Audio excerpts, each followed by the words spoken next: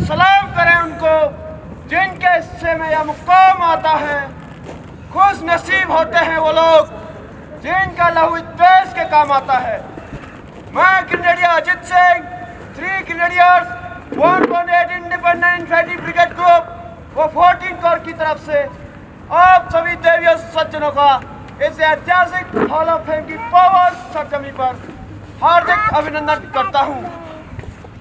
Hall of fame का निर्माण भारतीय सेना द्वारा सन उन्नीस सौ छियासी में लद्दाख के इतिहास व संस्कृति से रूबरू कराने तथा भारतीय सेना के उन वीर योद्धाओं के अदम्य साहस, पराक्रम व वीरता को दर्शाने के लिए किया गया, जिन्होंने हमारे देश की सरहदों की रक्षा करते हुए अपना सर्वोच्च बलिदान दिया।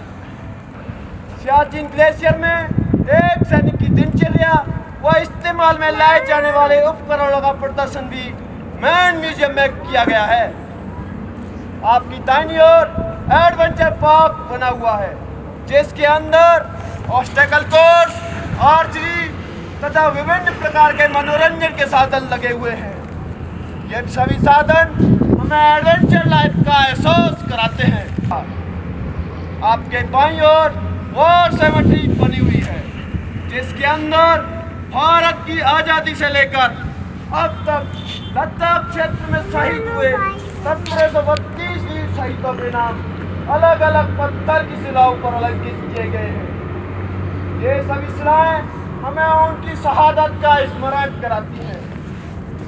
आपके ठीक सामने वॉर मेमोरियल बना हुआ है, जिसकी स्थापना वीर शहीदों की याद में सन 2006 में की गई थी।